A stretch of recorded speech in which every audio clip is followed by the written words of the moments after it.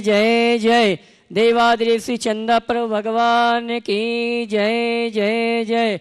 बोले देवादिदेव श्री चिंताणी पार्श्वनाथ भगवान की जय जय जय। बोले संत शिरोमणि गुरुवर आचार्य श्री विद्यासागर जी महाराज की जय जय जय।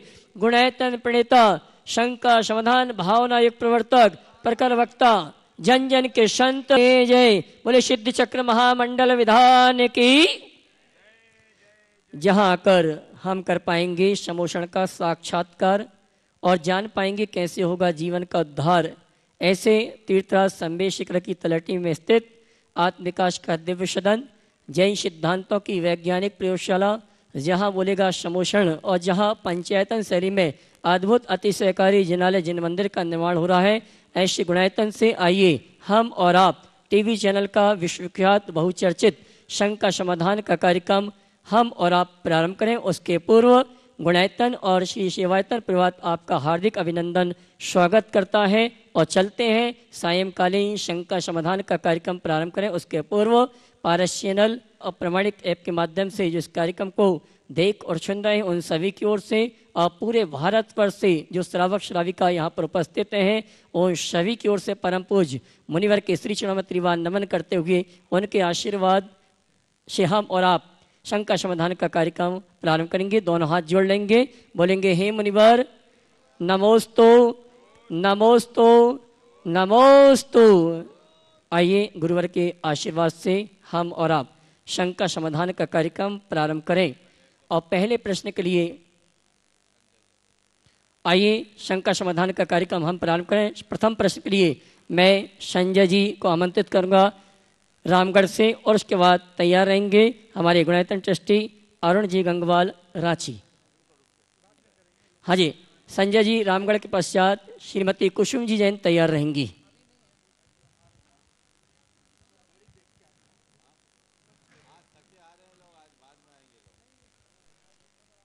संजय जी रामगढ़ और उसके बाद तैयार रहेंगी श्रीमती कुसुम जी।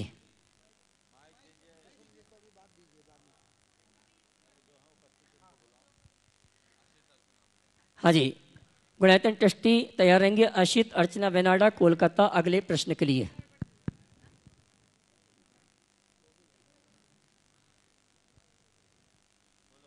पूज्य गुरुवर के चरणों में नमोस्तु नमोस्तु नमोस्तु। समस्त रामगढ़ दिगंबर जैन समाज की ओर से नमोस्तु नमोस्तु नमोस्तु। गुरुवर, मेरा सवाल ये है, जो वर्तमान स्थिति अभी हमारे भारतवर्ष की है, लगभग आज से 300 सौ, साढ़े तीन साल पूर्व भी यही स्थिति हम देखते आए हैं। उस स्थिति से उबारने के लिए एक युग पुरुष ने जन्म लिया, जिसने ये उस समय उद्घोष दिया।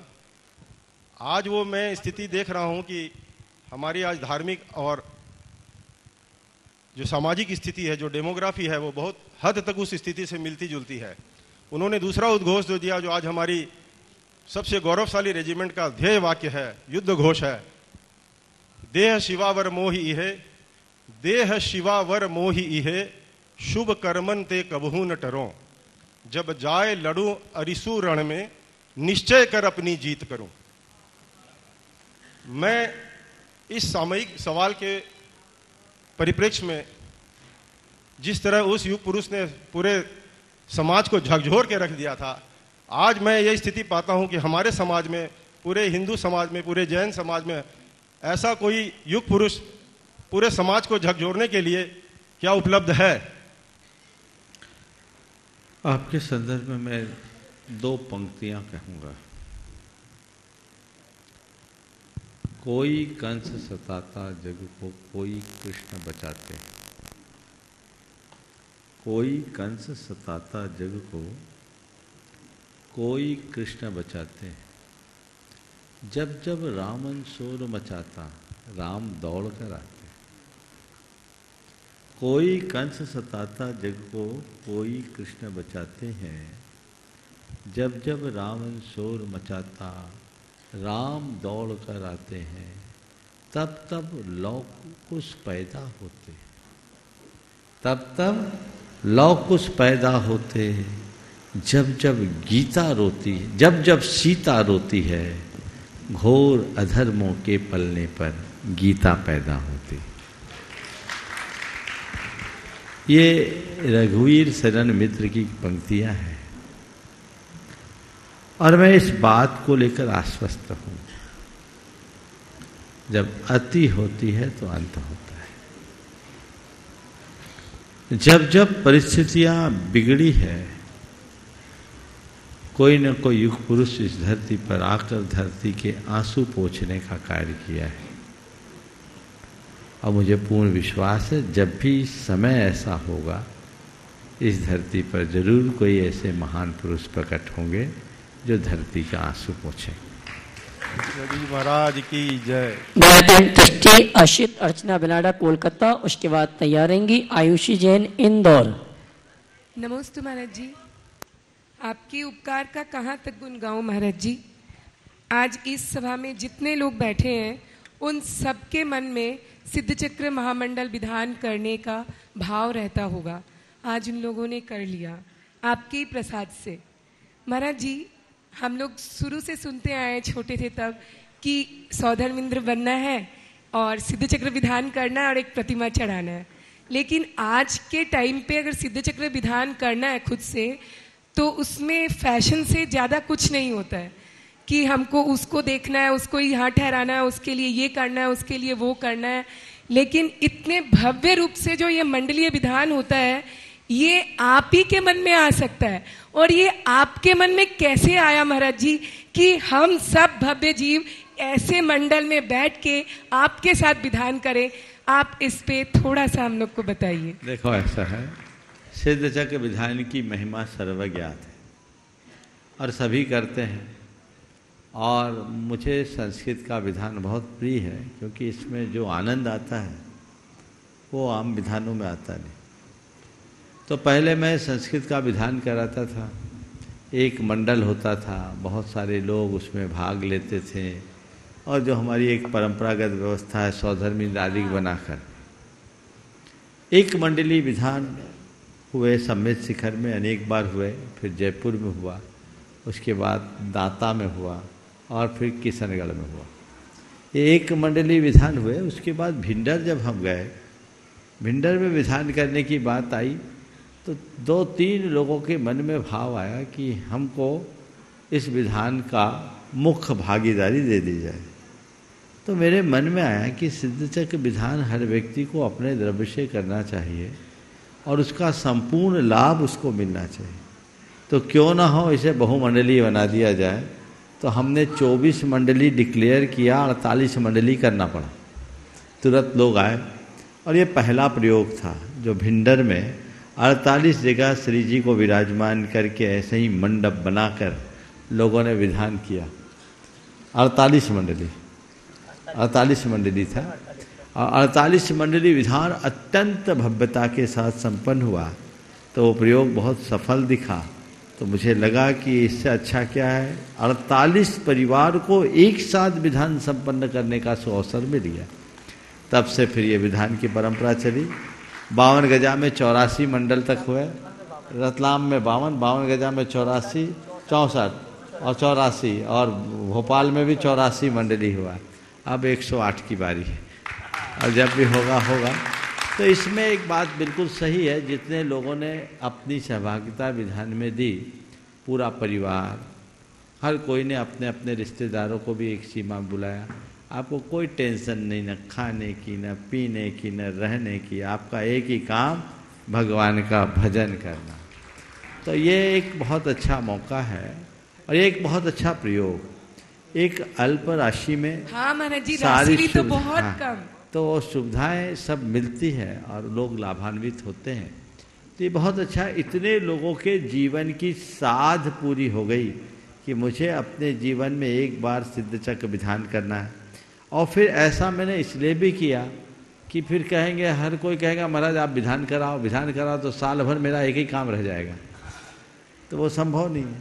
तो ऐसे भी और लोग जो बीच में विधान कराने आते हैं, मैं उसमें उपस्थित नहीं हो पाता। बस अष्टानी का अष्टानी का मंगल दिन है और उसमें मैं पूरा विधान आप लोग देखते हैं, छोड़ता नहीं हूँ। विधान करने के बाद ही सारे कार्य होते हैं। आज का ये विधान बहुत अच्छे से संपन्न हुआ। जितने लोग इस विधान में सम्मिलित हुए हैं उन सबको आशीर्वाद आखिरी में दूँगा मैं। अभी तो आज का कार्यक्रम और होने दो। लेकिन निश्चित आज तुम्हारे सवाल के माध्यम से ज़रूर कहूँगा कि अगले विधान के लिए अभी से मन बना के रखो ताकि यहाँ घोषणा होते ही तुम्हारा नाम प्राथमिकता के साथ आ जाए और लोग लाभ लाभ ले सकें। बहुत बढ़िया। चलिए। नमोस्तु महाराज जी। आयुषी जैन इंदौर उसके बाद तैयार रहेंगे हमारे मुख्यमंडल पुण्याज परिवार के विटिया नमन डॉक्टर सुदेव जी आभा जैन दिल्ली। नमोस्तु महाराज जी। मेरे मेरे परिवार का और शुभोदय जैन तीर्थ की तरफ़ से आपको बारंबार नमोस्तु नमोस्तु। महाराज जी, मेरा प्रश्न पुण्य और पाप को लेकर है। पुण्य और पाप की जो रेखाएँ होती हैं, वो कौन तय करता है? जैसे कि जो हमारे लिए पुण्य है, वो थोड़ा सा ही जो जैन दूसरे होते हैं, उसमें वो फूल चढ़ाकर पाप हो जाता है। सनातन धर्म में जाएँ तो पाप की सीमाएँ कुछ और होती हैं। तो पुण्य पाप तय कौन करता है?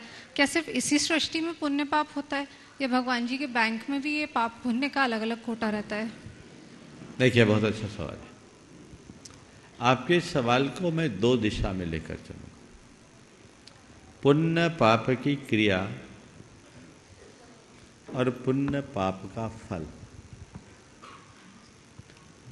पुण्य पाप का फल तो हमें स्पष्टतया दिखता है। जब हमें अनुकूलताएँ दिखती है तो हम उसको पुण्य के फल के रूप में देखते हैं। और प्रतिकूलताएँ आती है तो उसे हम पाप के फल के रूप में देखते हैं। ये तो अनुभव है? मैं समझता हूँ इसके संदर्भ में ज़्यादा कुछ कहने की ज़रूरत नहीं। है लेकिन जब पुण्य और पाप की क्रियाओं की बात करते हैं तो वो क्रिया अभिप्राय पे निर्भर करती है। जैसे एक व्यक्ति किसी मुनि की हत्या करने के लिए तत्पर है। और दूसरा व्यक्ति उसको देखकर उससे लड़ रहा है। और दोनों में लड़ाई हो रही है और दूसरे व्यक्ति ने उस व्यक्ति की हत्या कर दी, जो मुनि की हत्या करने में तत्पर था। अब मैं आपसे पूछता हूँ, जो मुनि हंता है वो और जिसने मुनि हंता की हत्या की है वो, क्या दोनों एक है? पहला हत्यारा कहलाएगा और दूसरा मुनि रक्षक। पहला उपसर्ग कर्ता और दूसरा उपसर्ग निवारक। उपसर्ग कर्ता ने कोई हिंसा नहीं की और उपसर्ग निवारक से हिंसा हो गई। फिर भी उपसर्ग निराक निवारक पुण्य के क्षेत्र में जाएगा और उपसर्ग कर्ता पापी कहलाएगा। महाराज जी। बात सुनो पहले। तो बात क्या प्रकट हुई निष्कर्ष क्या निकला? कि पुण्य और पाप का संबंध हमारे अभिप्राय से। हम कौन सी क्रिया कर रहे हैं उसके पीछे हमारा दृष्टिकोण क्या है? सबसे ज़्यादा महत्व उसका है उसको हम देख कर चलेंगे। तो सब बातें अपने आप प्रकट होंगी महाराज जी जिसे ये पता ही नहीं है कि वो पाप में आता है क्योंकि हमारे ही अज्ञान अपने आप में ही पाप है। जिसको पता नहीं है वो ऐसे ही पाप में है। तो फिर ऐसे तो महाराज जी सनातन धर्म में कोई मोक्ष धर्म की बात मत करो क्रिया की बात करो। जो व्यक्ति आत्म विमुग्ध होकर जी रहा है जिसके जीवन में जीवन के सत्य सत्य का विवेक ही नहीं है उसके प्रबल पाप का उदय चल रहा है उसका पतन सुनिश्चित है। हो। नमस्ते महाराज जी। डॉक्टर सुदेव जी आभा जैन दिल्ली उसके बाद तैयार ट्रस्टी शारंगा राजेंद्र शोलापुर। नमोस्तु महाराज जी नमोस्तु नमोस्तु नमोस्तु। मैं सुदीप जैन मेरा नाम अभी तक ठीक नहीं आ रहा था। हाँ हाँ, हाँ। आज तो नंबर आ पाया तुम्हारा। बोलो। मेरे अहोभाग्य महाराज जी आपके दूसरी बार दर्शन हुए। एक आध साल पहले जबलपुर में आपके दर्शन हुए थे। मेरी माता जी आपकी बहुत बड़ी फ़ैन है। और 24 घंटे आपका शंका समाधान और प्रामाणिक ऐप के थ्रू वो नहीं आ पाई उनका अभी किडनी का ऑपरेशन हुआ था अभी एक और सर्जरी उनकी जाते ही करवानी है। लेकिन वो इस बात से बहुत दुखी हैं कि वो यहाँ पर आपके दर्शन नहीं कर पाई आकर के। महाराज जी मैं शिखर जी बहुत सालों बाद दूसरी बार आया हूँ। बहुत अ, इस तरीके की धारणाएँ थी कि शिखर जी अ, हम लोग दिल्ली में ऐसा सोचते हैं कि डेवलप नहीं है साफ़ सफ़ाई नहीं है, रहने की सुविधा, खाने खाने की सुविधा, लेकिन यहाँ पर आकर के इतनी अच्छी सुविधाएँ मिली जिसका बिल्कुल अंदाज़ा नहीं था। जिस तरीके से खाना, पीना और सब, है ना, मैं दो तारीख से आया हुआ हूँ पूरा सात आठ दिन, कोई असुविधा नहीं हुई। जाकर के मैं ज़रूर दिल्ली में लोगों को बताऊँगा जो लोग मेरी तरह रेगुलर धर्म से नहीं जुड़े हुए हैं। मैं पहली बार लाइफ में इतना बड़ा प्रोग्राम मैंने अटेंड किया है। सात आठ दिन का प्रोग्राम कभी लाइफ में इस तरीके से इतना बड़ा विधान नहीं अटेंड किया। और मेरे जैसे और बहुत सारे लोग हैं मेरे सर्कल में मेरे जैन बंधु डॉक्टर मैं स्पाइन सर्जन हूँ। उनको ये बताना बहुत ज़रूरी है। आ, मैं भी बहुत आ, आ, डर के आया था कि इतने दिन क्या करेंगे कैसे रहेंगे और ना आते ही हम लोगों ने वंदना भी की। मैंने पैदल वंदना की और कर पाया आराम से दिक्कत नहीं आई। महाराज जी एक जो मेरी शंका है क्योंकि मैं बहुत ज़्यादा साइंस से जुड़ा हुआ हूँ। शुरू से मेरी एजुकेशन ऐसी है तो बहुत ज़्यादा तर्क रहते हैं हमारे आ, हमारी पढ़ाई शुरू से इस तरीके से हुई है। मैंने इतना बड़ा विधान किया बहुत मज़ा आया बहुत आनंद के साथ विधान किया लेकिन मेरी संस्कृत की जो समझ है वो बहुत लिमिटेड है। स्कूल टाइम में आठवीं कक्षा तक संस्कृत पढ़ी पढ़ लेता हूँ लेकिन समझ नहीं पाता हूँ। तो मुझे ऐसा लगता है कि मैंने इतना बड़ा विधान में पार्टिसिपेट किया और इतने ना एक हज़ार चौबीस मंत्र और उनको नौ बार हाँ। नौ नौ बार है ना। लेकिन बिना समझे ही मैंने बहुत कम चीज़ें मुझे उसमें समझ आती हैं। पहली बार है और रेगुलर इतना मंत्रों का जाप कभी किया नहीं है। तो इसका मैं क्या भव समझूं अपने लिए अपने परिवार के लिए? बहुत अच्छा। सबसे पहले तो मैं आपकी माता जी को आशीर्वाद देता हूँ। अभी नहीं आई उनको बोलो इसका मलाल न रखे। इतना पुण्य गाढ़ा करो कि अगली बार तुम अपनी माता जी को लेकर आओ। अभी तुम्हारे सास ससुर तुम्हें बुलाए हैं। अगली बार तुम इन सबको बुलाओ। ऐसा भाव जगाओ तो सबसे बड़ी बात होगी। बड़ी प्रसन्नता का विषय है। एक वरिष्ठ चिकित्सक होने के बाद स्पाइन के सर्जन तो पूरे देश में बहुत थोड़े हैं और तुमने लगातार आठ नौ दिन का समय निकाला। मुझे लगता है तुम्हारा शुभोदय आ गया है। तभी ये निकाल पाए। समेत शिखर जी के विषय में जो तुमने कहा बिल्कुल सही है और इस तरह का संदेश लोगों के बीच जाना चाहिए। आज समेत शिखर जी, हमारा मूल तीर्थ स्थल है। ऐसी कोई अव्यवस्था यहाँ नहीं है जिसको लेकर के लोग चिंता करते हैं। और अब इसके विकास की शुरुआत हुई है और मुझे लगता आने वाले दिनों में ये भारत के एक श्रेष्ठ स्थल के रूप में जाना जाएगा। यहाँ की व्यवस्थाओं को देखकर फिर भी वर्तमान में इसका इंफ्रास्ट्रक्चर अच्छा है। और लोगों को प्रेरणा लेनी चाहिए, आकर के आनंद लेना चाहिए, और अपने जीवन काल में एक बार तो सम्मेद शिखर की वंदना करनी ही चाहिए, और जवानी में वंदना कर लो तो समझ लो अंत तक वंदना करने का भाव बना रहेगा। आपने जो सवाल किया कि हमारे लिए संस्कृत का ज्ञान नहीं है, और इतने इतने मंत्रों का उच्चारण करने का हमें क्या लाभ मिलेगा? देखिए, मंत्र के अर्थ को जानने की कोई ज़रूरत नहीं होती। मंत्र का मतलब ही होता है जो रहस्य हो। मंत्र यानी रहस्य उसमें रहस्य है। मंत्रों में फोनेटिक पावर होती है। आपने साइंस की बात की। तो उसका जो इम्पैक्ट होता है फोनेटिक आता है, ध्वनि वैज्ञानिक प्रभाव। जब हम मंत्र का उच्चारण करते हैं तो उसके उच्चारण से जो ध्वनि की तरंगे उत्पन्न होती वो हमारे जीवन में बड़ा सकारा सकारात्मक बदलाव लाती है। मंत्र के उच्चारण से हमारे कर्म बदलते हैं नष्ट होते हैं। भाव में प्रसन्नता थी कि नहीं? बोलो। भाव में बहुत प्रसन्नता थी। बस तो वही प्रसन्नता आपके कर्म को काटने में निमित्त बनी। और साइंस की भाषा में मैं आपसे कहूँ तो ये पूछ जानना चाहूँगा ये प्रसन्नता आपके अंतस्रावी ग्रंथियों के परिवर्तन के बिना हुई क्या? ये मेरे लिए बहुत थॉट प्रोवोकिंग और बहुत इस तरीके का एक्सपीरियंस रहा, जो मैं सोच के नहीं आया था। मैं मैं वहीं आ रहा हूँ। मतलब हमने ये मंत्रोच्चार किया और ये पूरा समारोह हुआ। इससे हमारे मस्तिष्क में जो हमारी पिट्यूटरी ग्लैंड है और आपके जाकर के एड्रिनल ग्रंथि है, इन ग्रंथियों में जो स्राव हुआ, वो पॉजिटिव हुआ। उससे हमारे मंदिर प्रसन्नता आई। तो वो परिवर्तन मंत्र के उच्चारण से हुआ। इसका मतलब हमारे शरीर में कोई केमिकल, केमिकली परिवर्तन हुआ और उससे हमारे कर्म झड़े। ऐसा मान करके चलना चाहिए।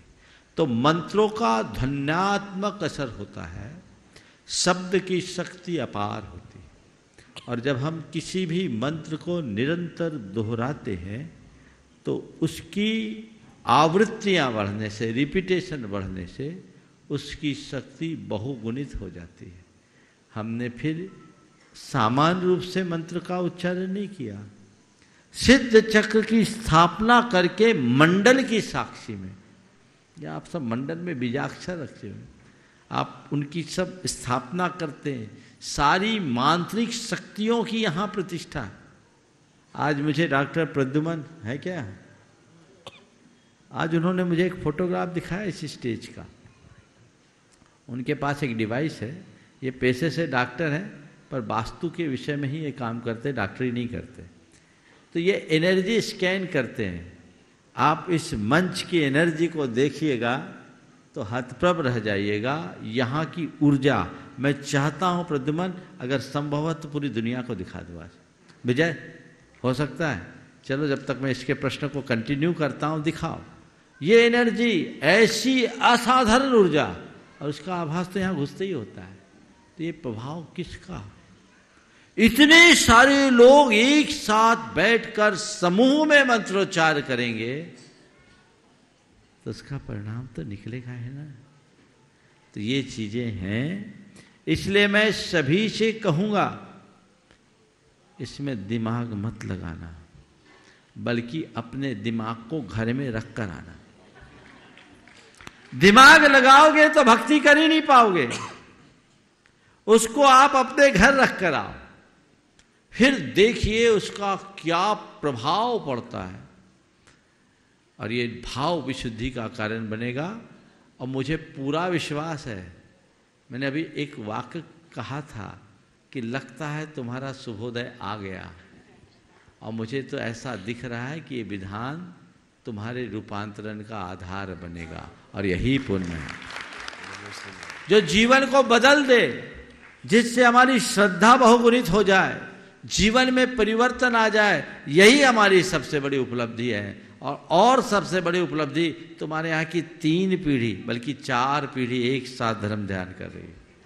ये छोटी बात नहीं है, नन्हे मुन्ने बच्चों में भी जो संस्कार आज डलेंगे, वे कालांतर में बहुत गुणित होंगे। बहुत बहुत आशीर्वाद। हाँ। हाँ विनोद जी भी पूछ लीजिए अगले प्रश्न के लिए अनुराग जूही जी के सुपुत्र योग जैन और उसके बाद विनोद रंजना विलासपुर। नमोस्तु महाराज जी मेरा प्रश्न ये है कि जीव आत्मा मरने के बाद कहाँ जाती है और उसका पुनर्जन्म कैसे होता है? बहुत अच्छा सवाल है। आत्मा मरने के बाद कहाँ जाती है और उसका पुनर्जन्म कैसे होता है? देखो बहुत सवाल बहुत अच्छा है इसे समझना चाहिए। एक छोटे से को भी इससे बहुत कुछ बोध प्राप्त हो सकता है। हम लोगों का शरीर है। कैसा शरीर है? इस स्थूल शरीर के साथ दो सूक्ष्म शरीर और होते हैं। एक वो जिससे हमारी बॉडी का टेम्परेचर मेंटेन होता है, उसको बोलते हैं तेजस शरीर। समझ गया? और दूसरा एक शरीर है कार्बन शरीर, जो हमारे संस्कारों का शरीर होता है। समझ गया? जिससे हमारे संस्कार बनते और पलते हैं। हमारी जब मृत्यु होती है तो हमारा स्थूल शरीर यहीं छूट जाता है। और हमारा जो संस्कारों का शरीर है, वो एक जन्म स्थान से दूसरे जन्म स्थान तक हमें लेकर जाता है। हम संस्कारों के शरीर के थ्रू नए जन्म स्थान में जाते हैं। कहाँ जाते हैं? जिसको हमने पहले से तय कर रखा है। जहाँ का हमने कर्म पहले बाँध रखा है, जो संस्कार हमने जमा रखा है। तो ये संस्कारों का शरीर, जिसको शास्त्र की भाषा में कार्बन शरीर कहते हैं। वो हमें यहाँ से वहाँ पहुँचा देता है और तुरंत पहुँचा देता है, उसमें टाइम नहीं लगता। और वहाँ पहुँचते ही हमारी आत्मा अपने पास कुछ विशेष प्रकार की शक्ति प्रकट करती है। और उस शक्ति के बल पर हम नए स्थूल शरीर के निर्माण की प्रोसेस शुरू करते हैं। फिर शरीर बनता है, फिर इंद्रियाँ बनती है, फिर श्वास पर श्वास लेने का हम शुरू करते हैं। श्वास लेने की क्षमता आती है, फिर बोलने की क्षमता आती है, फिर सोचने की क्षमता आती है। ये सब चीज़ें हम अपने जन्म के कुछ ही मिनटों में प्राप्त कर लेते हैं।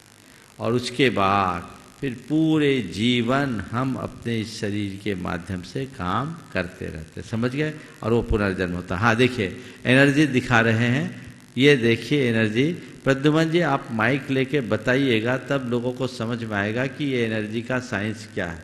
आ जाइए आप एक मिनट। ये बहुत अच्छा सवाल है और लोगों को इसकी जानकारी होनी चाहिए। पूरे स्क्रीन में उसको आप अभी की। महाराज जी अभी तो पॉसिबल नहीं है। कल अगर हो पॉसिबल तो करके दिखाओ मज़ा तो तब कल, आएगा। कल कोशिश कर सकते हैं महाराज श्री वो सेटअप करना पड़ेगा कल तो यहाँ शंका समाधान नहीं होगा कल वहाँ होगा। चलिए ठीक है। तो ये प्रद्युमन जी ने बताया तो मैं आपको बताया आज आज ही मुझे इनने जानकारी दी क्योंकि व्यस्ततावश बता नहीं पाए। इन्होंने उसके एनर्जी के स्कैन की थी और ये देखा कि इतनी अधिक एनर्जी तो जब हमारे भाव तरंग अच्छे होते हैं तो उसका प्रभाव तो होता ही है। संदीप जी आपको मंत्रों का एक प्रभाव बताता हूँ। हाँ? सुदीप। ठीक। तो हम लोग उन्नीस सौ छियानवे में पिंडरे में एक पंचकलानक कराए सुदर्शन जी के गाँव में। छोटा सा गाँव है, अस्सी पचासी परिवार। और वहाँ का पंचकलानक बड़ा ऐतिहासिक पंचकलानक था गजरत हुआ। एक चालीस एकड़ की समतल पहाड़ी थी, उस पर आयोजन था। और उस आयोजन में 25 किलोमीटर की परिधि के हर घर में मेहमान थे, पूरा ट्राइबल एरिया, आदिवासी इलाका। लोग जब उस पंचकलानक में आए तो अगर उनको कहीं बाज़ार में काम तो सब कहते हैं, हमारे यहाँ पाहुना आए हुए ज़बरदस्त लोगों की उमंग थी। हमने 25-25 हज़ार लोगों को संबोधा है वहाँ एक साथ, और उनमें सब आदिवासी। जन्म कल्याणक के दिन ऐसा हुआ कि जन्म कल्याणक का जहाँ जन्माभिषेक था, वहाँ हमारे समाज के आठ दस हज़ार लोग थे और पंडाल खचाखच भरा हुआ था तो मुझे अलग से प्रवचन करने जाना पड़ा उनके लिए। उस वर्ष पूरे इलाके में इल्ली का ज़बरदस्त प्रकोप था। फरवरी महीने की बात थी, फरवरी में इनका पंचकलानक था। इल्लियों का इतना प्रकोप था कि पूरी फ़सल तहस नहस हो गई थी। लेकिन सुदर्शन साक्षी हैं इसके। आप सुनकर ताज्जुब करोगे। पिंडरई के चारों तरफ़ 25 किलोमीटर के इलाके में चने और मसूर में दोबारा फूल आ गए और रिकॉर्ड फ़सल है अब मुझे नहीं मालूम ये कैसे हुआ। लोगों ने मुझसे कहा तो मैं तो यही कहा कि इतने सारे लोगों की सद्भावना का प्रताप ये निकला कि ये चमत्कार घट गया।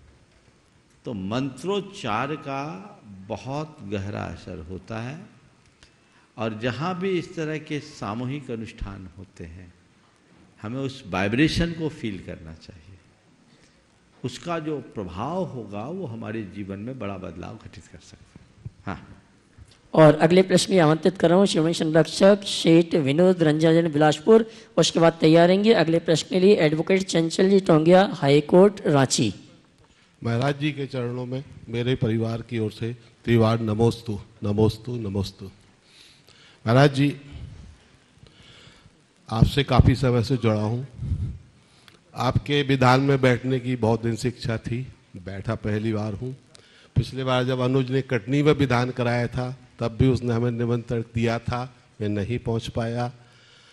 इस विधान में बैठने के बाद मैंने ये पाया, मैंने भी कई बार विधान कराए महाराज जी। मैं अपने जीवन में 20-25 से विधान अटेंड कर चुका हूँ, बिलासपुर में दो तीन करा भी चुका हूँ।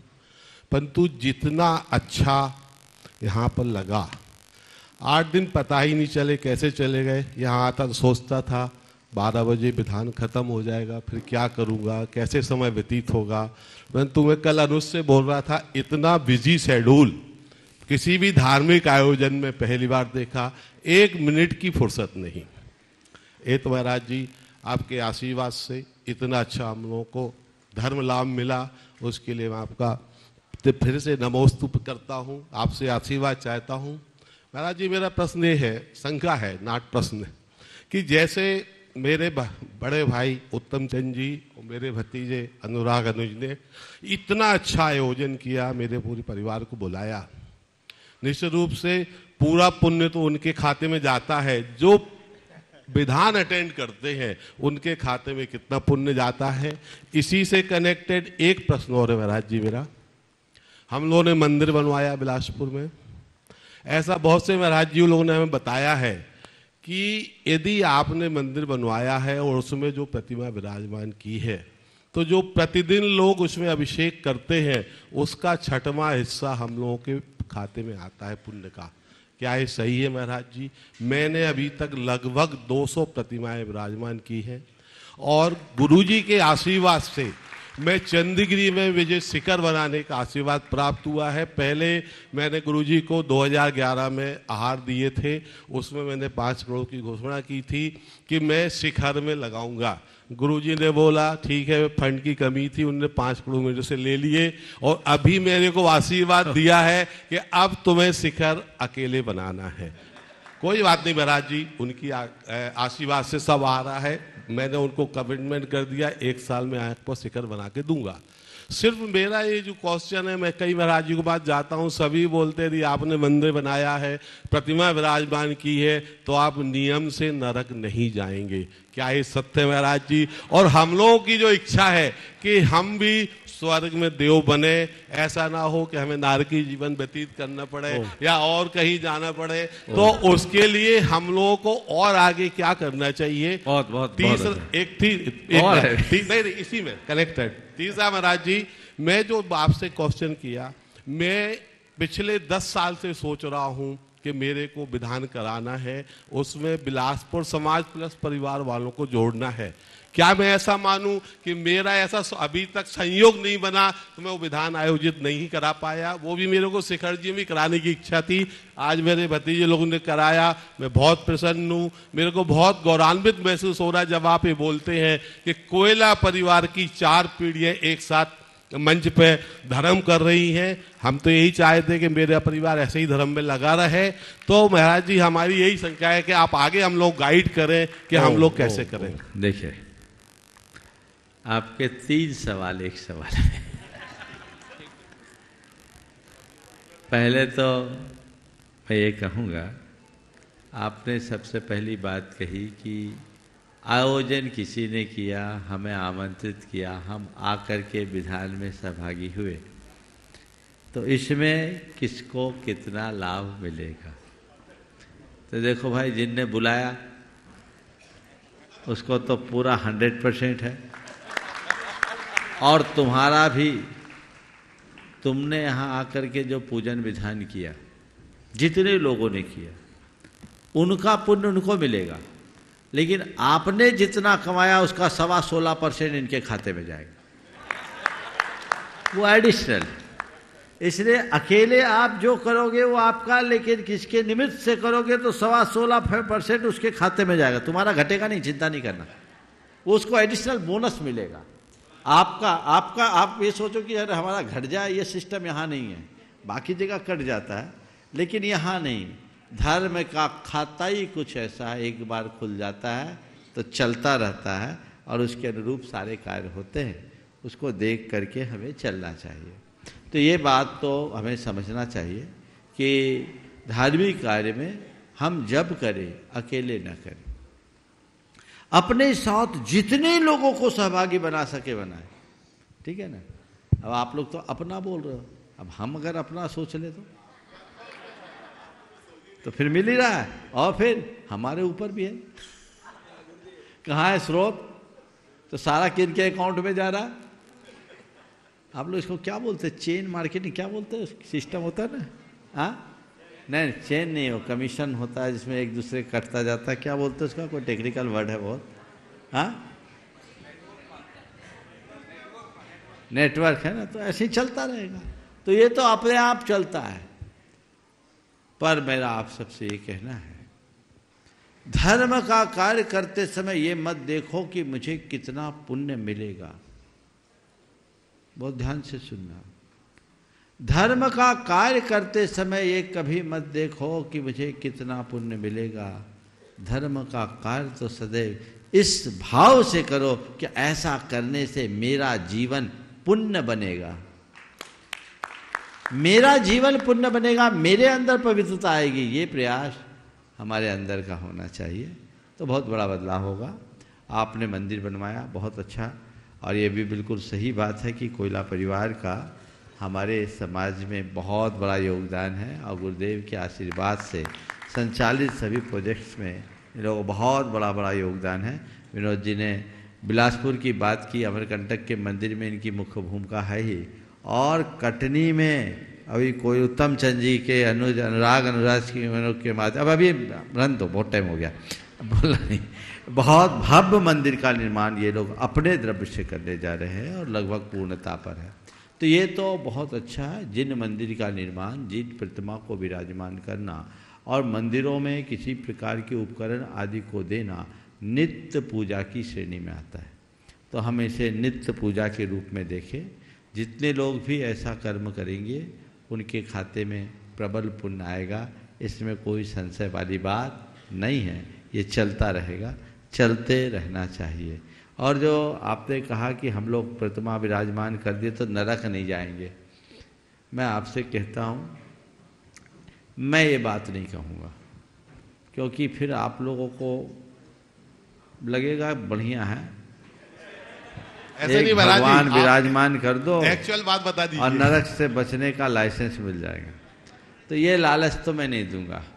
पर ये ज़रूर कहूँगा कि तुम एक प्रतिमा विराजमान करोगे तो सैकड़ों को नरक जाने से बचा लोगे। यही तो बात समझ भगवान के मंदिर में जो आएगा वह पुण्य ही कमाएगा पाप नहीं करेगा। इसलिए इसे धर्मायतन कहते हैं। यहाँ कोई पाप नहीं करेगा कोई अभागा आ जाए बात अलग है। तो वो आएगा, पुण्य ही करेगा तो उसका पुण्य उसको नरक जाने से बचाएगा ही ना। तुमको नरक नहीं जाना पड़ेगा, छोड़ो, भगवान का मंदिर बनने वाला तो खुद भगवान बन जाएगा। हल्का क्यों मानते हो? जो महाराज ने तुम्हें बताया, वो गलत बताया। उनको बोलो, महाराज, सही फल बताओ जो एक्चुअल फल है। इसलिए अपने पास शक्ति है, समय है, संसाधन है, धन है तो अच्छे कार्य में लगाओ। ये द्रव्य लगेगा तो केवल पुण्य में लगेगा और यहाँ आने वाला भी केवल पुण्य कमाएगा। इसलिए जब कभी कोई धर्म के निमित्त का कार्य हो, बढ़ चढ़ करके हिस्सा लेना। समझ गए? इसलिए मंदिर बनाने वाला नरक नहीं जाएगा, ये कहना मुझे नहीं जसता। लेकिन जो मंदिर बनाएगा वो अनेकों को नरक से बचाएगा। इसमें कोई संशय नहीं है उसे ध्यान में रखना। बहुत बहुत और आइए सेठ परिवार का अंतिम क्वेश्चन लेके आ रहे हैं श्रोणी संरक्षक प्रवीणी शकुन जी उनके सुपुत्र थोड़ा प्रशांत में कर लेना भैया आज भी बाकी महाराज जी विनोद हाँ। चाचा ने जो क्वेश्चन आपसे एक और पूछा था उसका जवाब नहीं मिला उनको कौन सा? कि जितने लोग मंदिर में पूजा करने आते हैं जो कोयला परिवार के द्वारा बनाया गया है बिलासपुर में उत्तर दे दिया सबका सवा सोलह परसेंट जाता है खाते में चलो महाराज जी हाँ। ये प्रमुख एक मेरा क्वेश्चन था महाराज जी अब पिछले आठ दिन से जिस तरीके से यहाँ पे उत्सव जैसा हम लोगों ने जीवन जिया मेरा यहाँ आने का बिल्कुल प्रोग्राम नहीं था महाराज जी, मेरी टिकट कहीं और की थी। ग्यारह बजे रात को ऐसा संयोग बना और मैं यहाँ आया और जिस, फिर मैं गया ही नहीं। चार दिन के बाद मुझे जाना था, मैं नहीं जा पाया। मैं पूरा कर, मैं छोड़ नहीं पाया इसको। महाराज जी तो पूरे जीवन को इस तरह उत्सव की तरह कैसे जिया जा सकता है? कभी कभी क्या होता है कि हम कभी मंडे लाइफ हो जाती है रूटीन लाइफ हो जाती है यू फील लो तो हम पूरे पूरे जीवन को उत्सव की तरह कैसे जिए? बहुत अच्छा सवाल है। पूरे जीवन को उत्सव की तरह जीने के लिए एक सूत्र देता हूँ। सुबह उठो। अब भैया आप रहने देना। क्योंकि टाइम कम है, आज एक्सटेंशन नहीं होगा, अभी और भी काम। तो मैं कह रहा था, पूरे जीवन को उत्सव की तरह बनाए रखने के लिए सुबह उठो, मन को प्रसन्नता से भरो, भावना योग करो। और भावना योग का एक छोटा संस्करण पाँच मिनट वाला है सुबह उठ करके करने वाला। और रात में सोते समय पाँच मिनट का है। आप उसे महसूस करते हुए करो। और आज के इस दिन को मैं उत्सव की तरह जीऊँगा। मुझे प्रसन्न रहना है। मुझे सहज रहना है। मुझे आनंदमय रहना है। ये वाक्य बार बार दोहराएँ उसका प्रभाव पड़ेगा। बहुत बढ़िया। और आइए अगले प्रश्न के लिए मुझे सवाल नहीं करना। मुझे सिर्फ़ इतना कहना है कि अनुज अनुराग और मेरे ससुराल कोयला परिवार की वजह से मुझे जो फ़ायदा हुआ यहाँ आकर के पहली बार जो फ़र्स्ट टाइम लाइफ में एक्सपीरियंस हुआ मैं अब दिल्ली जाकर के कोशिश करूँगा जो मेरे सर्कल के लोग हैं साइंस की वजह से साइंस और धर्म मैंने देखा है बड़ा ऑपोजिट चलते हैं। जितना साइंस बढ़ती जाती है लोग धर्म से दूर होते जाते हैं। मैंने ये आ, सब वीडियो फ़ोटो वगैरह अपने सर्कल में ग्रुप में डाला तो लोग शौक में हैं कि मैं आठ दिन से यहाँ पर हूँ और ये कर रहा हूँ। अब मुझे उन्हें जाकर के शौक से निकालना है और उनको यहाँ भेजना है। बहुत सुंदर बहुत सुंदर बहुत सुंदर। और आइए अगले प्रश्न के लिए एडवोकेट चंचल जी टोंगिया हाईकोर्ट शोपोत स्वर्गीय निर्मल जी टोंगे रांची। अपना प्रश्न करेंगे और उनके सम्मान के लिए आमंत्रित करूँगा सुनील जी अजमेरा और शिवाजी सीओ गुणायतन सभी एक साथ जाए परिवार के सभी सदस्य।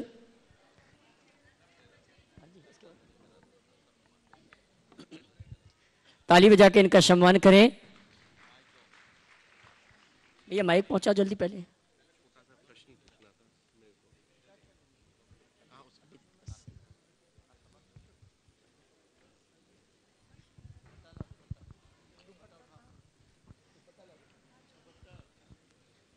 सवाल करो हाँ। महाराज जी। महाराज जी मैं एक अधिवक्ता हूँ झारखंड उच्च न्यायालय में। हमारे लाइफ में डिसिप्लिन का बहुत महत्व होता है जैसे सुबह समय से उठना समय से सोना समय से खाना ओवर ईटिंग नहीं करना एक्सरसाइज करना योगा करना।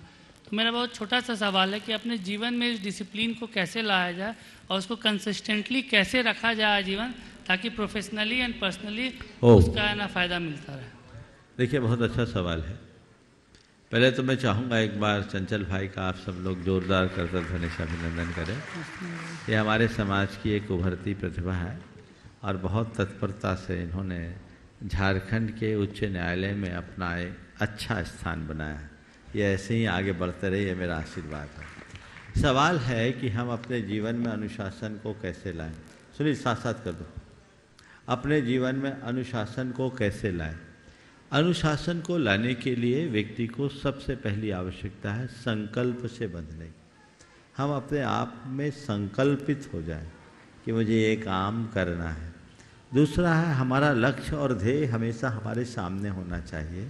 जब मनुष्य ध्येयोन्मुखी बनता है, लक्ष्योन्मुखी बनता है, उसके सामने जब उसका लक्ष्य होता है तो कभी भटकता नहीं। और लक्ष्य की प्राप्ति के लिए अपने आप उसके मन में अनुशासन होता है। जैसे एक उदाहरण दे रहा हूँ। यहाँ अभी विधान चला।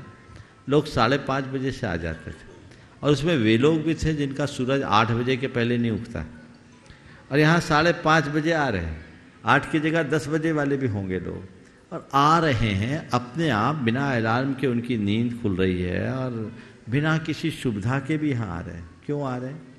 अंदर एक उमंग जागी, रुचि जगी और मन का संकल्प कि हमें यहाँ विधान करना है ये मेरे लिए जीवन भर की उपलब्धि है लाइफ टाइम अचीवमेंट है। तो प्रेरणा हो। तो व्यक्ति के मन में संकल्प हो सामने उसका लक्ष्य हो अपने कार्यों के प्रति रुचि हो तो अनुशासन की प्रेरणा अपने आप जगेगी। बहुत बढ़िया। और आइए इनके सम्मान के लिए मैं आमंत्रित करूँगा। हमारे गुणायतन के संयुक्त महामंत्री सुनील जी अजमेरा और गुणायतन के ईश्वर साहब श्रीमान शिवाज। जी और आइए आज जिन्होंने गुणायतन का अवलोकन किया, अनुभव केंद्र का अवलोकन किया, और गुणायतन से जुड़ने का जिन्होंने सौभाग्य प्राप्त किया, मैं जिनके नामों की घोषणा कर रहा हूँ, अगर वे उपस्थित हैं तो अपने स्थान में खड़ो के गुरुवर का आशीर्वाद प्राप्त करेंगे और आप उनके सम्मान में ताली बजाकर उनके भावों की अनुमोदना करेंगे। निर्माण निधि के रूप में जुड़ने का सौभाग्य प्राप्त किया डॉक्टर अनूप जी, नागेंद्र कुमार जी वंडी, इंदौर। अपने स्थान में खड़े होकर नमोस्तु करेंगे। कुमारी ओशी जैन, पुलक जैन, अमित जैन, सपना जैन बेगमगंज इसी क्रम में श्रीमती लक्ष्मी अखिलेश जैन ग्वालियर, श्रीमती दिशी, धर्मपत्नी श्री अक्षय जैन मेहरोनी और श्री हरिश्चंद जी, श्रीमती चमन जैन आगरा। इन्होंने निर्माण निधि से जुड़ने का सौभाग्य प्राप्त किया है। अगर जिनके नामों की घोषणा की है तो अगर उपस्थित हैं तो अपने स्थान में खड़ो के गुरुवर का आशीर्वाद प्राप्त करेंगे। और जिन्होंने इस गुणायतन में स्वर्ण दान देने का शोभा प्राप्त किया है। उपस्थित है तो अपने स्थान में खड़ो के आशीर्वाद प्राप्त करेंगे। आरिशा, वीरा इवा सिद्धार्थ कुमार शाह वाशी, शोलापुर, जोरदार ताली बजाकर इन सभी का सम्मान करेंगे। और आइए, मैं आमंत्रित करूँगा मंच पे उन सुधी श्रावकों को, जिन्होंने अपनी ओर से दान देकर अपने परिवार का बहुमान बढ़ाया है। सर्वप्रथम स्वर्ण दान दिया है। आमंत्रित करूँगा राहुल मल्लीवाड़े, कोल्हापुर। अगर उपस्थित हैं तो वह परम पूज मुनिवर के शिक्षणों में नमन करते हुए गुरु वंदना का सौभाग्य प्राप्त करेंगे और उनके सम्मान के लिए मैं आमंत्रित करूँगा श्रीमान कालिदास जी छावड़ा जियागंज है क्या? आइए, इसी क्रम में मैं स्वर्णदाता विमल कुमार जी, रणुजैन, इंद्रापुरम, गाजियाबाद। अगर उपस्थित हैं तो वे आएँगे और हमारे गुणायतन परिवार का सम्मान स्वीकार करेंगे और उनके सम्मान के लिए मैं बुला रहा हूँ श्रीमान कालिदास जी छावड़ा जियागंज और श्रीमान देवेंद्र जी अजमेरा, गया गुणायतन शय कोषाध्यक्ष ये दोनों आएँगे हमारे सम्मानी श्रीमान विमल कुमार जी, रेणुजैन इंदिरापुरम, गाजियाबाद का प्रतीक चिन्ह देकर सम्मान का कार्यक्रम संपन्न किए और जोरदार ताली बजाकर इनका सम्मान करें। और आइए, इसी क्रम में मैं आमंत्रित करता हूँ जिन्होंने स्वर्ण दान देकर अपने परिवार का बहुमान बढ़ाया है। श्रीमान विमल कुमार जी जैन, ये तो हो गए, कोई दिक्कत नहीं। और आइए इसी क्रम में निर्माण मित्र के रूप में जुड़ने का सौभाग्य जिन्होंने प्राप्त किया था। श्रीमती कांता देवी, धर्मपत्नी अजित पाटनी, नरेंद्र पाटनी मुगल सराय सूरत, अष्टानिका पर्व में. इनका नाम तो कल तो हो चुका था। आइए, निर्माण शार्थी के रूप में श्रीमान विजय कुमार, श्रीमती संतोषी, अंकुर, स्वाति, आशीष दिव्या दर्शी जैन शिवपुरी अगर उपस्थित हैं तो वे आए, हमारे गुणायतन परिवार का सम्मान स्वीकार करें और उनके सम्मान के लिए मैं आमंत्रित करूँगा। हमारे गुणायतन के उपाध्यक्ष श्रीमान अनिल जी सेठी और श्रीमान अरुण जी गंगवाल रांची। अच्छा। आइए, इनके सम्मान के लिए अनिल जी सेठी और साथ में अरुण जी गंगवाल रांची ये आएँगे, हमारे सम्मानी पुण्यार्जक का सम्मान का कार्यक्रम संपन्न करेंगे। मैं चाहूँगा जोरदार ताली बजाकर इनका सम्मान करें। इसी क्रम में गुणायतन से गुणायतन ट्रस्टी के रूप में जड़ने का जिन्हें सौभाग्य प्राप्त किया है। मैं आमंत्रित करूँगा श्रीमती शरला जैन, धर्मपत्नी स्वर्गीय प्रदीप कुमार, आदित्य कृतिका जैन, अदविका जैन, दिल्ली। अगर उपस्थित हैं तो वे आए। परम पूज मुनिवर के शिक्षण में नमन करते गुरुबंदा का सौभाग्य प्राप्त करेंगे और और उनके सम्मान के लिए आमंत्रित करूँगा हमारे गुणायतन परिवार के ट्रस्टी श्रीमान हरीश जी जैन, दिल्ली। और गुणायतन ट्रस्टी डब्बू जी का आशीर्वाल गया। ये आएँगे हमारे गुणायतन ट्रस्टी श्रीमती सरला देवी परिवार का सम्मान का कार्यक्रम संपन्न करेंगे। इसी क्रम में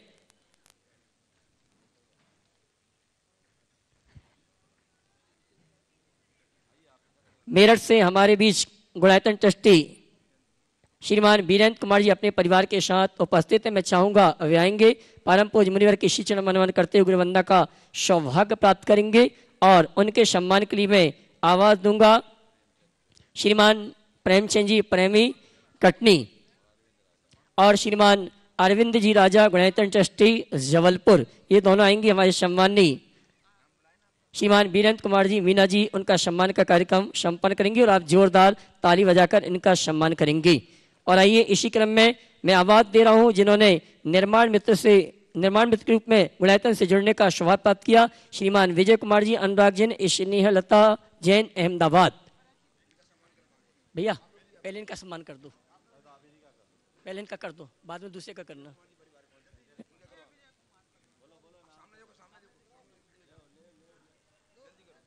श्रीमान विजय कुमार जी, परिवार का सम्मान हो रहा है और आमंत्रित करूँगा हमारे श्रीमान क्या नाम है सुनील जी पहाड़े और अशोक जी सेठी, ये दोनों आएँगे हमारे सम्मानी क्या नाम इनका? मेरठ वालों का सम्मान का कार्यक्रम संपन्न करेंगे। आइए, सुनील जी पहाड़े हैदराबाद और अशोक जी सेठी कोलकाता। श्री वीरेंद्र कुमार मीना जैन, रितेश, रोमी, संजय, वंदना, अंकुर, रुचि जैन, परिवार, अरियंत जिलस मेरठ। श्रीमान विपिन रेखा जैन, इनका सम्मान का कार्यक्रम हमारे श्रीमान पहाड़ साहब और शेट्टी जी कर रहे हैं। आइए। और आइए, जिन्होंने इस महानुष्ठान में अपनी ओर से पूजन द्रव्य आदि में सहयोग प्रदान किया है, श्री पदम चंद जी रत्न प्रभा गदिया, कोलकाता, पूजन द्रव्य इक्यावन हज़ार रुपया गुणयतन ट्रस्टी श्रीमान महाप्रसाद जी, खतौली, कोटा, त्यागी प्रति भोजन व्यवस्था इक्यावन रुपया, राकेश जी, सुनीता जी, कोटा इन्होंने पूजन द्रव्य में ग्यारह हज़ार रुपया, सतीश जी दिल्ली, त्यागी वृत्ति भोजन व्यवस्था पूजन द्रव्य में बाईस हज़ार रुपया, रीमा, रवि अनोजैन गुड़गांव पूजन द्रव्य में सहयोग प्रदान किया, अशोक सुमंजन गुड़गांव पूजन द्रव्य में ग्यारह हज़ार, श्री दिलीप जी, अनिमेश, सरिता दुर्गापुर, ग्यारह हज़ार रुपया, श्री सुलेखा जी बिलासपुर पूजन द्रव्य में ग्यारह हज़ार रुपये की राशि प्रदान की, बहुत बहुत इनके भावों के लिए धन्यवाद। और आइए चलते हैं, पुनः एक बार हम और आप। हो तो गया। और आइए मैं आमंत्रित करूँगा अगले प्रश्न लिए हमारे गुणायतन ट्रस्टी मेरठ से श्रीमान वीरेंद्र कुमार जी, मीना जैन परिवार, और उसके बाद तैयारेंगे गुणायतन ट्रस्टी श्रीमान अरुण जी गंगवाल, रांची।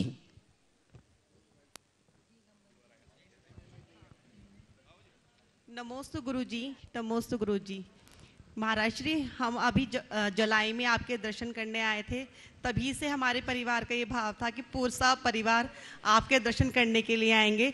तो आपके आशीर्वाद से सौभाग्य हमारा आज पूरा हुआ है कि हम सह परिवार आपके दर्शनों के लिए आए हैं। महाराज श्री हमारी एक शंका है कि कोई भी माता पिता जो होते हैं वो मतलब बच्चे उनकी कमज़ोरी होते हैं महाराज जी जिनके लिए वो सब काम करते हैं। तो महाराज श्री हम हमें ऐसा क्या करना चाहिए कि जो हमारी कमज़ोरी पूरी हो जाए महाराज देखिए बहुत अच्छी बात है कि आप पूरे परिवार के साथ यहाँ आए और मैंने सुना है कि तीनों दुकानें बंद करके। जी महाराज श्री पूरा घर एक साथ आया है बहुत अच्छी बात है। और मेरठ के एक प्रतिष्ठित ज्वेलर होने के उपरांत प्रतिष्ठान बंद करके आना हाँ प्रतिष्ठान बंद करके आना एक अनुकरणीय पहल है। बहुत बहुत आशीर्वाद आपने जो सवाल किया और ये कहा कि बच्चे हमारी कमज़ोरी है। मैं इसे आपको सुझाव देना चाहूँगा कि बच्चों को कमज़ोरी मानने की जगह उन्हें ताकत बना लो। बच्चे आपकी कमज़ोरी नहीं, बच्चे आपकी ताकत है। बशर्ते आपने उनकी सही तरीके से पालन पोषण किया हो उनको अच्छे संस्कार दिया। महाराज श्री वो बात सही है लेकिन कई बार माता जैसे मैं अपने लिए कहती हूँ कई बार बच्चों के लिए जैसे अपनी माता को कभी मतलब झूठ बोलना पड़ता है जैसे कि मैं आ रहा हूँ हाँ, मैं आ रहा हूँ। आप किस सेंस में कमज़ोरी कह रहे हैं मुझे पता है। हाँ पर मैं पहले आपके वाक्य को संशोधित करना चाह रहा हूँ और हमें अपना दृष्टिकोण बदलना चाहिए। बच्चे हमारे कमज़ोरी नहीं बच्चे हमारी ताकत है।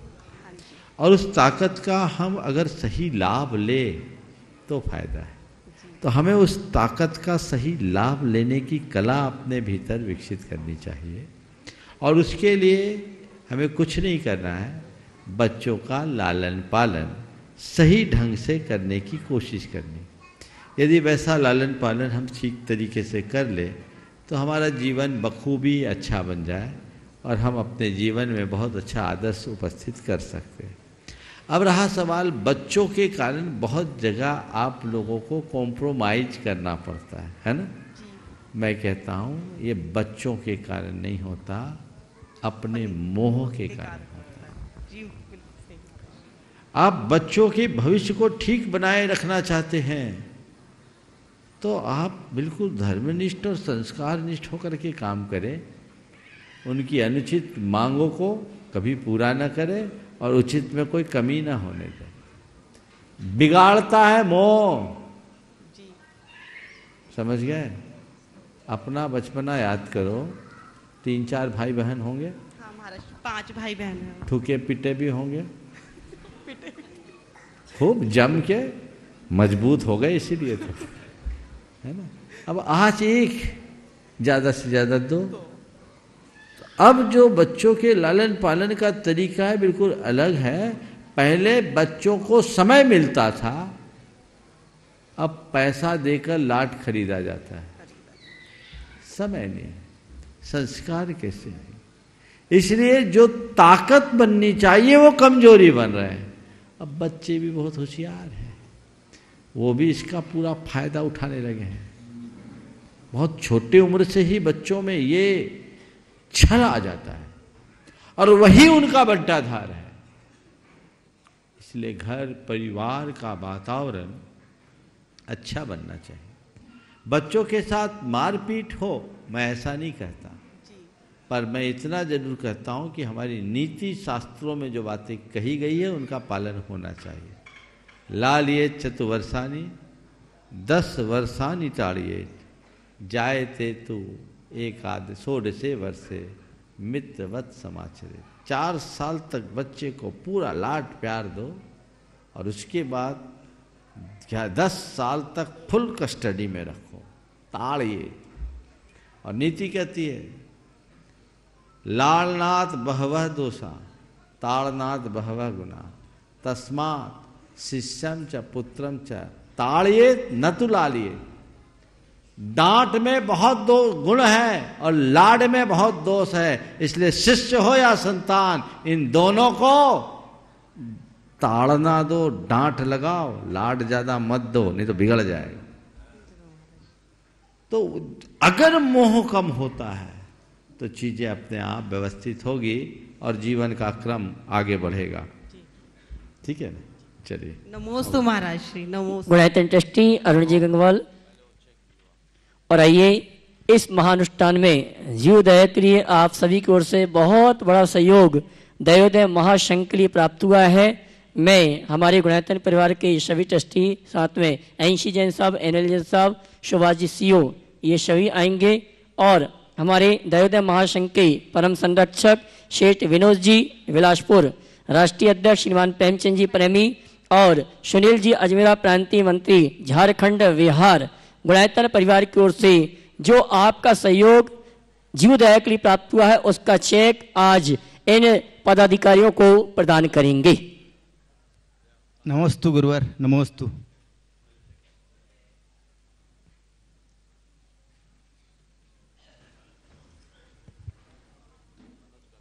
और साथ में मनोज जी कन्नौज भी आ जाएँगे। हम दयोदय के कार्यकारिणी सदस्य श्रीमान कन्हैयालाल जी सेठी एविया जावे। गुणायतन परिवार की ओर से महामंत्री श्रोणी संरक्षक गुणायतन देवेन जी अजमेरा, संयुक्त कोषाध्यक्ष गुणायतन गया, अनिल जी सेठी, उपाध्यक्ष गुणायतन हजारीबाग और डब्बू जी काशीवाल गणायतन ट्रस्टी गया। ये सभी आएँगे पदाधिकारी। श्रीमान अरविंद जी राजा गुणायतन ट्रस्टी। अच्छा। ये सभी मिलकर हमारे दयाद महासंघ के परम संरक्षक शेख विनोद जी और राष्ट्रीय अध्यक्ष श्रीमान प्रेमचंद जी प्रेमी और प्रांतीय मंत्री झारखंड बिहार, सुनील जी अजमेरा, इन सभी को और साथ में हमारे मनोज जी कन्नौज, जो कि सदस्य हैं, इन सभी को इस महानुष्ठान में एक बहुत अच्छी राशि प्राप्त हुई है और उस राशि का चेक लगभग लगभग, हरी, लगभग नहीं, पूरी इक्यावन लाख रुपए की राशि का चेक आज गुणैतन परिवार दयोदा महाशंख के लिए समर्पित कर रहा है। आप जोरदार ताली बजाकर इनका सम्मान करें। ओ देखो भाई, आप लोगों ने तो केवल बोला ही है और आपकी बोली के आधार पर गुणायतन ने सौंप दिया, क्योंकि जीव दया के कार्य में एक क्षण का भी विलंब नहीं होना चाहिए। तो गुनायतन ने आपके बिहाफ पर दिया है, इसलिए जिसने बोला है, सबसे पहली प्राथमिकता में जीव दया का अपना द्रव्य देना, और जितना आपने बोला उससे ज़्यादा गुनायतन ने दिया है, और ये गुनायतन की हमेशा परिपाटी रही है। और मैं हमेशा धार्मिक आयोजनों में लोगों को ये प्रेरित करता हूँ कि इस तरह का कार्य करें, और तुरंत ध्यान महाकल्याण को अपने जीवन का आदर्श बनाएँ। देवोदय महासंघ के लिए भी मैं ये कहूँगा कि अपने कार्य को इसी तरह और सुचारू करते रहे ताकि अधिक से अधिक गौ संरक्षण मिल सके और अपने उद्देश्य को आगे बढ़ाया जा सके। चलिए। नमस्ते नमस्ते। ट्रस्टी अनुज गंगवाल रांची अष्टवाद तैयार रहेंगे श्रीमती कुसुम जैन गुड़गांव।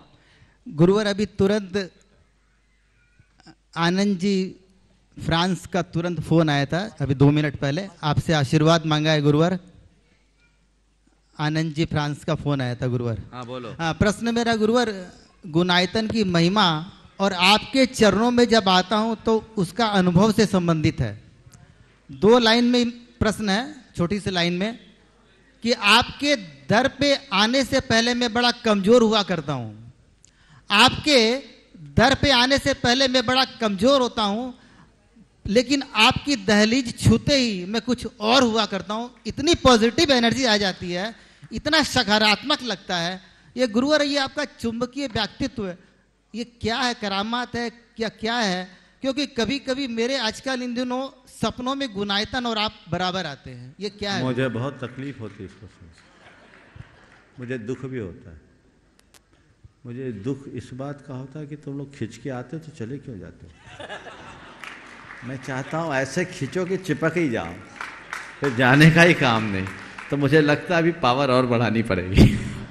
और ऐसा पावर बढ़ जाए और तुम लोगों के अंदर ऐसा आकर्षण आ जाए कि एक बार इधर आओ तो केवल इधर के हो जाओ। जीवन धन्य होगा। नमस्ते गुरु श्रीमती कुसुम जैन गुड़गांव उसके बाद महाराज जी का आशीर्वाद चाहूँगा उन युवा साथियों के लिए जिन्होंने इस महानुष्ठान में बहुत ही बड़ा सहयोग दिया है। श्रीमान प्रमाण सागर सेवा संघ ललितपुर एक प्रश्न के लिए। बोलो।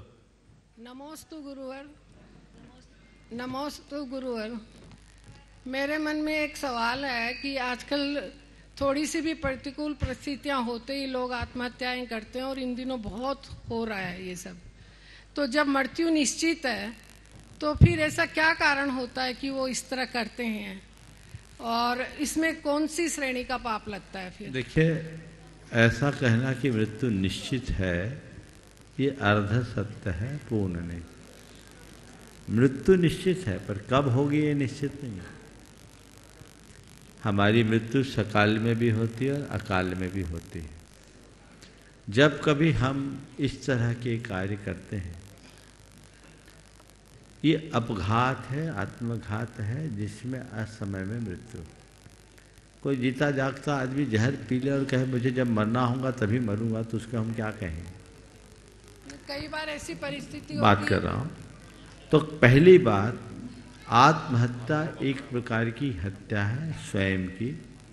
और हत्या स्व की हो या पर की, हत्या हत्या है। और हमें ऐसे कृत्यों से बचना चाहिए। ऐसा कृत्य करने से मनुष्य अपना घोर पतन करता है। उसे वही पाप भोगने को मिलेगा जैसे किसी दूसरे इंसान की हत्या पर होता है।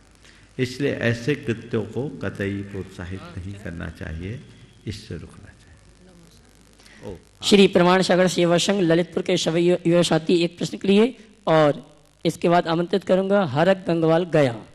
नमोस्तु महाराज श्री नमोस्तु। गुरुदेव इंसान के नाम की पहचान श्री श्री मान से शुरू होती है परंतु उसके व्यक्तित्व की पहचान महाराज नमोस्तु। गुरुदेव इंसान की पहचान श्री श्री मान से शुरू होती है, परंतु उसके व्यक्तित्व की पहचान उसकी ज़ुबान से होती है। तो ज़ुबान में किन बातों का ध्यान रखना चाहिए जो हमारे नाम का मान और हमारे व्यक्तित्व की शान दोनों बढ़ा दे? जबान में किन बातों की सावधानी रखनी चाहिए जिससे हमारी नाम और व्यक्तित्व की शान दोनों को ठीक बनाए रखें? कुछ मत करो। जबान में जैसी लोच है वैसी लोच अपने जीवन में बनाए रखो व्यवहार में बनाए रखो जबान में तलखी न रखो तो सब ठीक हो जाए। ओम। हाँ। महाराज से एक और। चलो बोलो जल्दी से। नमोस्तु महाराज जी। क्रोध कसाय तो हमारी पकड़ में आ जाती है। हाँ। क्रोध कसाय तो हमारी पकड़ में आ जाती है। लोभ भी कुछ कुछ समझ में आ जाता है। और पर मानव माया की पहचान कैसे करें? और जैसे क्रोध करना कभी कभी अच्छा होता है तो बा, क्या बाकी कसाय भी करना कभी अच्छा होता है क्या? अच्छा होता है, ऐसा नहीं, कसाय तो कसाय कसाय कभी अच्छी नहीं होती, हम अच्छा मान लेते हैं। समझ गए? जब हम अच्छा मान लेते तो चारों कसायों को अच्छा मान लेंगे। क्रोध भी अच्छा है, मान भी अच्छा है, माया भी अच्छी है, लोभ भी अच्छी है। बुरी तो खूब सुना। अगर कोई अच्छे काम के लिए गुस्सा करना पड़ा तो हम उसको बोल देते अच्छा है। कोई अच्छी उपलब्धि हुई, तुम्हें उसका मान करते तो कहते हमारे अपने उपलब्धियों का मान है, मेरे धर्म का मान है, उसे मान करने लगते हो। और अच्छे काम को पाने के लिए थोड़ा बहुत तिकलम लगाते, बोले, ये सब चलता है, क्योंकि हमारा टारगेट अच्छा है। और तुम लोग यहाँ आए हो सब धर्म करने के लोभ लेकर के ही तो आए हो तो ये भी अच्छा है। अच्छा और बुरा चीज़ें नहीं होती, हमारे मन का अभिप्राय होता है। और महाराज जी, हम लोग और महाराज जी हम लोग ये कार्य कर रहे हैं इसका हम लोग को क्या फल मिलेगा? बिल्कुल अभी सेवा कर रहे हो ऐसे आगे बढ़ते रहो कि लोग तुम्हारी सेवा करें। नमोस्तु महाराज जी। रम्य गंगवाल गया उसके बाद तैयार रहेंगे हमारे एक एक बार इस युवकों का खड़े हो जा सामने। जोरदार करतल ध्वनि से स्वागत करें। आप लोग देखते हैं ये सारे युवा लगभग सौ सदस्य हैं इनके इस पूरे के पूरे संघ में। और समय समय पर इसमें ललितपुर और मालथौन के युवा विशेष रूप से हैं। समय समय इस बार तो शायद एक छत्तीसगढ़ से भी आया है। हाँ? हटा और? छत्तीसगढ़ से चिरमिरी। तो ये ये ग्रुप है और अपना सब काम छोड़ करके आते हैं। सबके अपने व्यापार, व्यवसाय और पढ़ाई लिखाई है। लेकिन आप लोग इनकी सेवाएँ देखते हैं। पूरी व्यवस्थाओं में चार चाँद लगा देते हैं। एक बार जोरदार करता था। नमोस्तु महाराज जी नमोस्तु महाराज रमेश गंगवाल गया उसके बाद तैयारेंगे शेठ परिवार के विटिया धवन डॉक्टर जय विक्रम अभिलाषा जैन दिल्ली। नमोस्तु महाराष्ट्री महाराष्ट्री मेरा प्रश्न ये है कि थोड़े दिन पहले अष्टमी के एक दिन पहले मम्मी ने हम लोग को बोला कि अट्ठाई का मैं आठ दिन का उपवास कर लेती हूँ शिखर जी जाकर। पर हम लोग ने बोला नहीं आप मत जाओ। क्योंकि अभी हम लोग का स्कूल भी खुलने वाला था तो इसलिए हम लोग ने मना कर दिया। हम लोग थोड़ा सा नाराज़ हो गए थे। तो मम्मी ने फिर जाके पापा से पूछा कि क्या मैं चले जाऊँ? तो पापा भी बोले, नहीं, अभी तुम मत जाओ। तो फिर मम्मी बोली कि, अष्टी, अष्टमी का मैं एक दिन का तो उपवास कर लूँ। तो फिर जब मम्मी ने अष्टमी का एक दिन का उपवास किया, उसके अगले दिन मम्मी ने एक और बार पूछा, रिक्वेस्ट किया कि मैं एक बार प्लीज़ चले जाऊँ। तभी भी हम लोग नाराज़ थे पर मम्मी ने कैसे तैसे करके मम्मी आ, हम लोग को मना ली और मम्मी शिखर जी आ गई। तो महाराज श्री आपके आपके आशीर्वाद से मम्मी इतना कर ली तो जैसे जैसे दिन बढ़, बढ़ते गया हम लोग को अपना गलती का रियलाइज़ हो गया कि हमको मम्मी को नहीं बोलना चाहिए था हम लोग को मम्मी को नहीं बोलना चाहिए था कि आप मत जाओ। तो महाराष्ट्री इसमें हम लोग को क्या पाप लगेगा? और महाराष्ट्री उपवास करने का हमारे जीवन में हमको क्या पुण्य मिलता है? देखो, मम्मी ने उपवास का भाव किया और तुम लोगों ने रोकने की बात की। ये सभी करते हैं, क्योंकि सब डरते हैं। लोगों को लगता है कुछ हो गया तो क्या करेंगे? हिम्मत जल्दी नहीं होती। लेकिन ऐसा नहीं करना चाहिए। धीरे धीरे अभ्यास करके अगर कोई व्यक्ति अच्छा कार्य करता है तो उसको उत्साहित करना चाहिए और आगे बढ़ाना चाहिए। समझ गए? आगे बढ़ाने का फल अच्छा मिलता है। उसकी तरफ़ हमारी हमेशा दृष्टि होनी चाहिए। उसमें कोई कोर कसर नहीं होना चाहिए। आपने पूछा, उपवास करने का फल क्या होता है? उपवास करने से मन की शुद्धि होती है। यदि व्यक्ति विशुद्ध भावों से उपवास करता है तो उसकी विचारधारा परिवर्तित हो जाते हैं। हाँ केवल भूखे रहने का नाम उपवास नहीं है। उपवास के बाद पूरी तरह से अपने मन को विशुद्धि में लगाए रखना ही सबसे बड़ा लक्ष्य होना चाहिए। और ये बड़ी प्रसन्नता का विषय है। आठ दिन तक खाए पिए हैरान थे लेकिन इनके साहस की सराहना करनी होगी कि इनने आठ दिवस तक उपवास के साथ ये विधान किया। बहुत प्रशंसनीय है। नमोस्तु। नमस्ते महाराज। डॉक्टर जय विक्रम अभिलाषा जैन दिल्ली उसके बाद तैयारेंगे पीएम भानेज गुणायतन ट्रस्टी मलाड मुंबई। नमस्ते महाराज जी। हाँ महाराज जी, मैं दिल्ली से हूँ, मैं एक डॉक्टर हूँ और अभी मेरे साड़ू भाई ने भी साइंस की बात की थी। हमको ये पढ़ा भी है और देखा भी है, जाना भी है कि फोर्थ सेंचुरी से पहले हम सब लोग एक ही थे, जैन, चाहे तेरहपंथी हों, चाहे बीसपंथी हों, चाहे श्वेतांबर हों, चाहे दिगंबर हों। उसके बाद ऐसा हुआ कि हम विभाजित हुए लेकिन आगे हम आपके माध्यम से ऐसा क्या कर सकते हैं कि हम सब एक हो जाएँ और ये कोई माइनॉरिटी स्टेटस जो हमारे ऊपर लगा हुआ है ये हट जाए। देखिए ये सब स्वाभाविक है। कोई पेड़ होता है पेड़ उगता अकेला है पर उसकी ब्रांचेज फैलती कि नहीं? बोलिए। फैलती हैं। तो पेड़ जितना बड़ा होगा उसकी ब्रांचेज उतनी होगी वो फैलेगी। और कभी कभी ऐसा होता है, आपने देखा भी होगा, मैंने भी देखा है, कई पेड़ ऐसे होते हैं, किसी ब्रांच में तो फल लगे दिखते हैं, कोई सूखा भी दिखता है।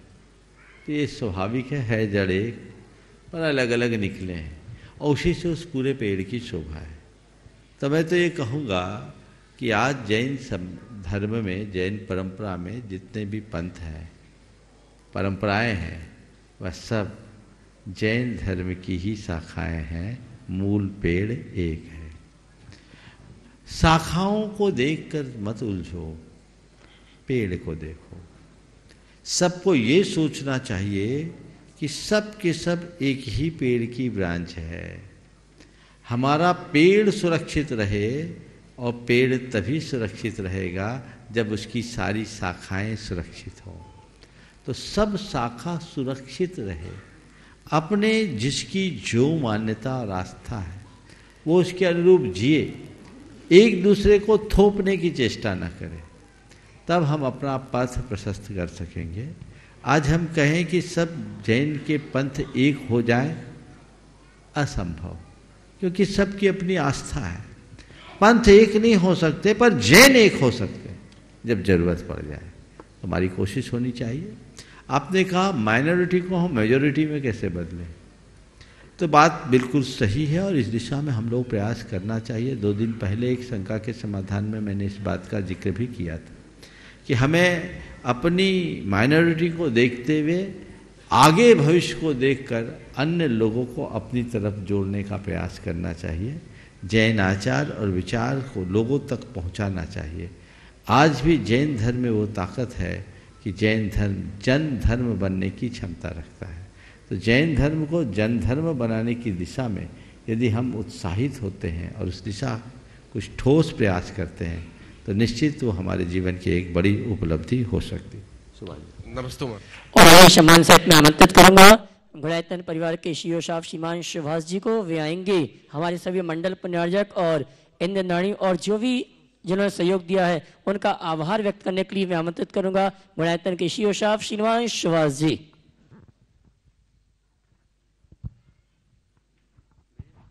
परम पूज्य गुरुदेव के चरणों में शशत नमन। बंधुओं, इसके पहले कि मैं आभार प्रदर्शन करूँ, सबसे पहले मैं आप लोगों से क्षमा चाहता हूँ उन सब गलतियों के लिए जो हमारे गुणायतन परिवार की तरफ़ से या हमारे सहयोगी की तरफ़ से आपकी व्यवस्था देने में अगर कुछ हुई है तो उसके लिए मैं क्षमा प्रार्थी हूँ। हम लोगों ने, हमारी कमेटी ने, हमारे सभी सहयोगी ने, कार्यालय के लोगों ने पूरी व्यवस्था बनाने में अपना पूरा योगदान देने का प्रयास किया। लेकिन फिर भी मैं जानता हूँ कि कुछ ना कुछ कमी हमेशा रह ही जाती है। तो इसके लिए मैं सभी से क्षमा माँगता हूँ और सभी से निवेदन करूँगा कि आप अपने सुझाव अवश्य देकर जाएँ ताकि अगली बार हम लोग इम्प्रूव कर पाएँ और ये गलतियाँ जो अभी हुई, वो आगे ना हो।